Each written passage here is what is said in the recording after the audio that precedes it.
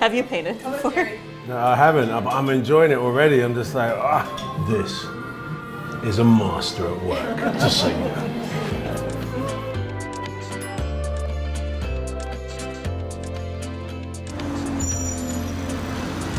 It was fabulous. It was a fabulous evening. So we a little prosecco uh, coming in. we did some paintings of the London skyline with Idris and chatted a lot and just had a wonderful evening with a really, really wonderful man.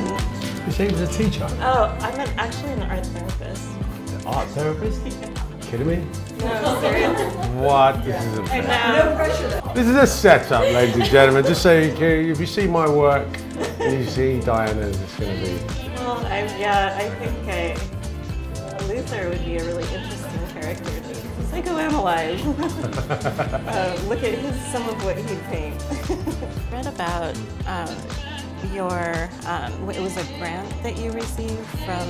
Um, mhm. Yeah. That's so cool. that- Yeah, no, it was definitely like the beginning. I, I mean, I, I, I wouldn't say that if it didn't happen, I wouldn't have shouldn't have achieved much, but it certainly like gave me that first stepping stone. Like, right, you know, it was validation as well. Do you know what I mean? It was like, oh, the prince, the prince thinks I'm a good actor. It was all about that. My mum was like, oh, you must be good. Prince Charles thinks you're good. I'm like, yeah, mum.